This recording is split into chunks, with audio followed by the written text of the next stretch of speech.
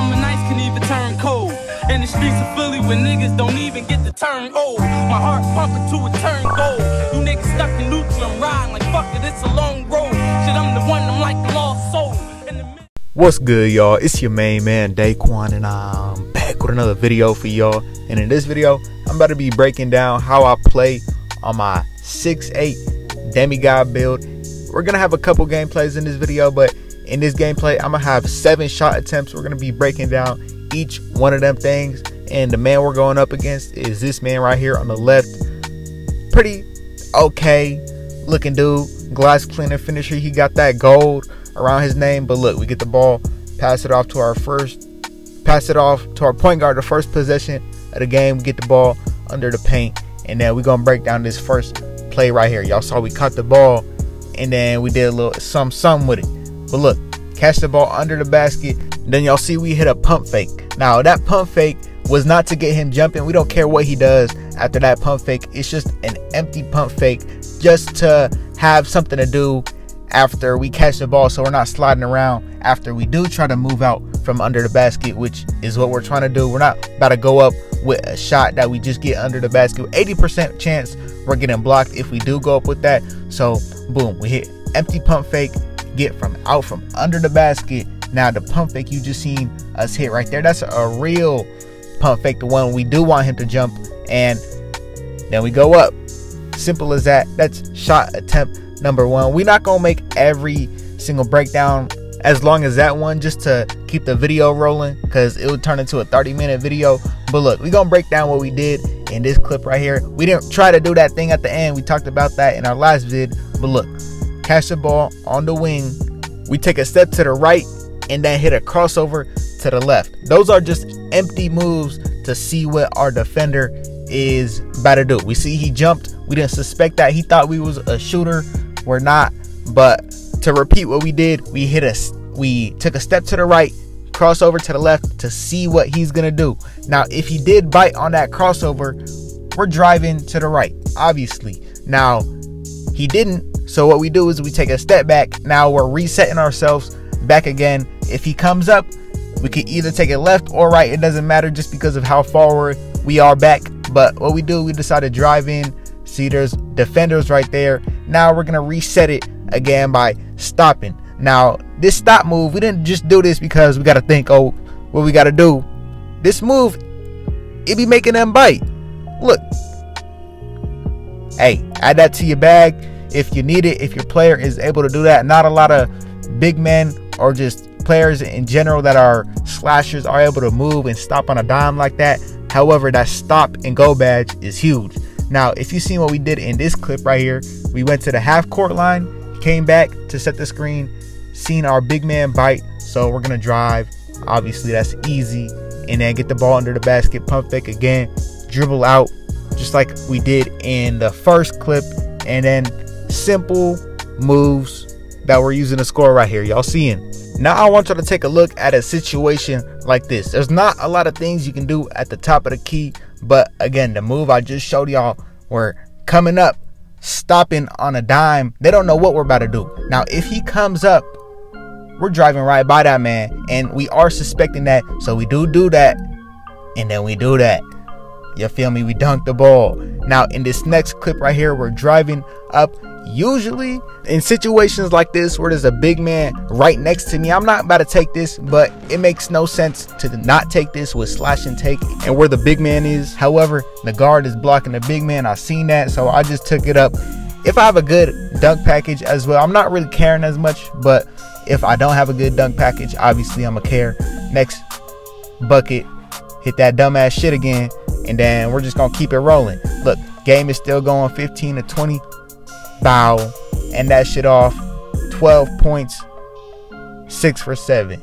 Now we're on to game number two. This game we have nine shot attempts. The other one we had seven. And this is the man we're going up against. Glass cleaner finisher. In total, there's gonna be three games in this video. But look at this clip right here. We give our mans the ball and then we stand in the corner. But I want you to pay attention to when we come out of the corner. Look, he's driving in we sense that either he's gonna take a dumbass shot or he's gonna pass the ball, and he passed the ball, which he did. but us coming up is giving him space to go back out and giving us more space to reset the ball at the top of the key. Then we just take a nice simple dunk. Now, this is going to be another one of those cases in this clip right here where there's going to be people chasing after us.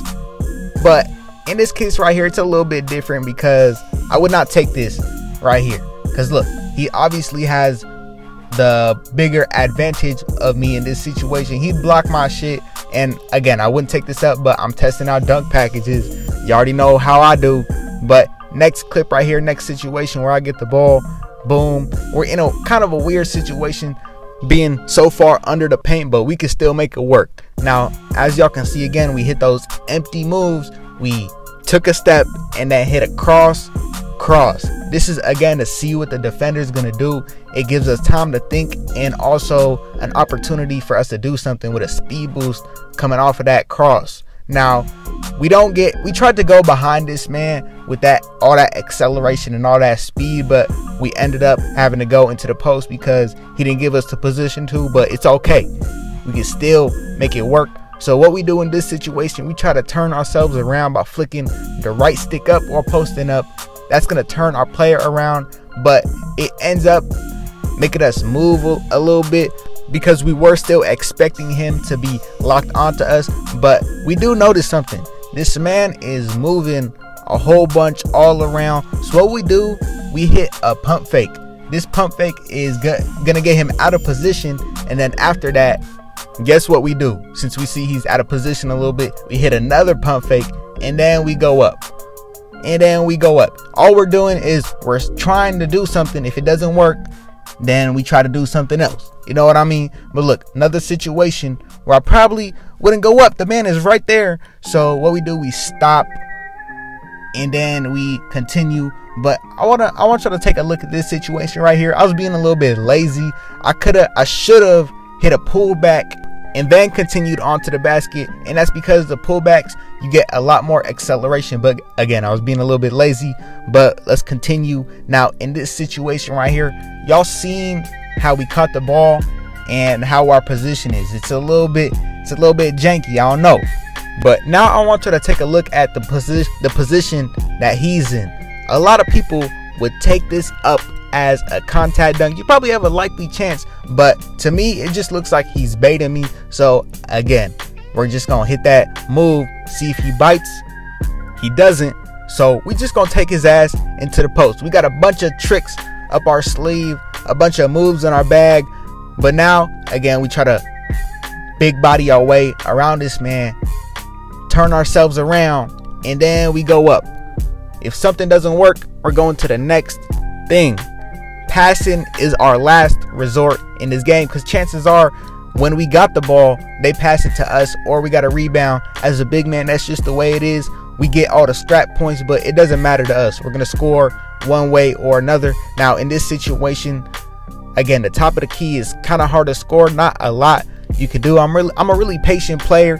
I don't care what it takes but I'm gonna do something to score. In this situation right here, we've already hit this man with a bunch of stops, a whole bunch of hesitation. So we just hit a spin move. This situation right here, we're back into the post.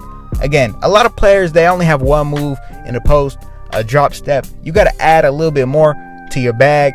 I've talked about videos in the past, just a bunch of moves that you can do. But guess what? We're about to show y'all another one. This is another one I showed y'all in the past, but look, Look at all the space we created from that move. Look how easy it was for us to dunk. We made a move. We scored out of thin air just like that. Now, in this situation right here, testing out another fucking dunk animation. I usually don't go for rever reverse dunks, but y'all can see I'm going for the reverse dunks in this video. Obviously, now end of the game right here. Man's got the ball, shoots a three, greens it, Thankfully, we went seven for nine. Y'all seen the two shots. Y'all seen every shot attempt that I had in that video. This is our third game, the last game. This is the man we're going up against, and 11 shot attempts in this game. First game, seven. Second, nine. This one, 11. We're just going up and up. But look, get the ball off the rip, pull back, drive right by this man. He didn't know what he got himself into, but we about to show this man. Now look, scores two to two, running around, set this man a screen. Uh oh, big body, hit a roll, hits us a little bit late.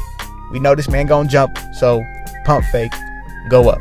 Bro, this shit is so simple. If something doesn't work, we're going to the next thing. If something is happening, then we're gonna do something to counter that. You know what I mean? Like, we're just working till we're getting every advantage going towards us. In this situation, we thought we had it, we didn't. It honestly looked there, even rewatching it back, but we just continue on. Big fucking screen, man, drop to the ground, easy alley. Next point, next attempt. Hold on, we get a rebound, driving down the court. Now we could pass to either one of our teammates right here, but what's gonna happen they're going to get the ball. They're not going to see a shot because it's not going to be there. They're going to dribble back to the top, and that's an extra five seconds shaved off the shot clock. We can't drive in because there's people in the paint. There's a man right behind us. So we reset it, and then we go into the paint, shake this man, and then drive in.